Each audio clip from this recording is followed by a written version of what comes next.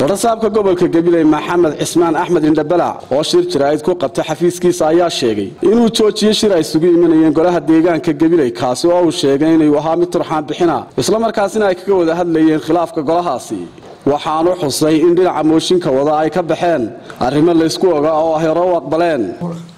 Khilaafaadka ka yimaada degmooyinka ama guddoomiyaasha ha noqoto ama ha noqoto dee tuulooyinka iyo bulshada kala duwan aynu adeegayno. Golayaasha deegaankuna waxay ka mid yihiin iyaga laftigoodana golayaasha iyaga laftigooda wixii togasho dhexdooda ah. Inaan dee dhammaystirno waxaa jirta labada dhinacba marka waan u tegey. Runtii qoladan cabanaysay hore way ila qaateen inaan dee conflicga dee aynu hoos u dhammayno waxaan ku ballanay in aanu ku dhammaysano taa. Taasaa keentay markaa inaan qoraal u sameeyo oo runtii aan baahiyo in aanu ku qabanno shirkaa halkaa xarunta dowladda hoose. Shirkayga dee ka daba timid oo wixii aan isla qaadanay ahayn ayaa la keenay oo aan meesha oolin oo ah in la qabto maayarkana loo geeyey warqad anigana xafiiska kan wasiirkana loo geeyey warqad kale oo odhanaysa kafadhigii hana loo qabto oo maayarkaan dee markaa eedeynayna runtii taasi waxay noqotay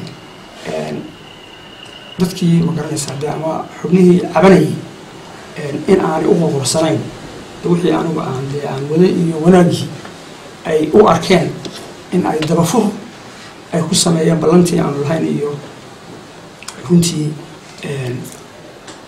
qoraalkii aan u soo gudbiyey ee ahaa in shirka brita lagu qaban doono lagu qaban doono halkaa howlka dowladda hoose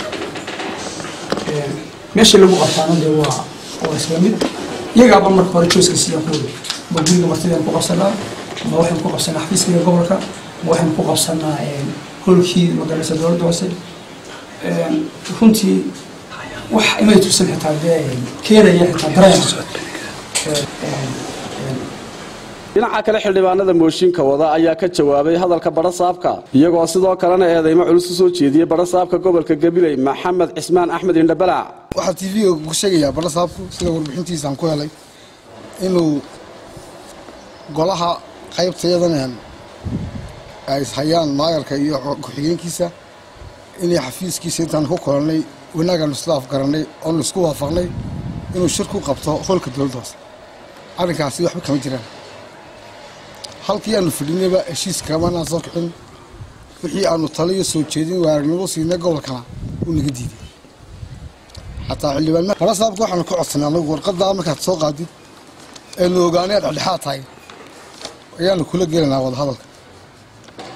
Inta ka horeysa wadahadalna kula gelaynaa ma jirto. Iska daaba kal fadhiba maxaa keena wadahadal baanaan gelaynba yaanu isku ogeyn.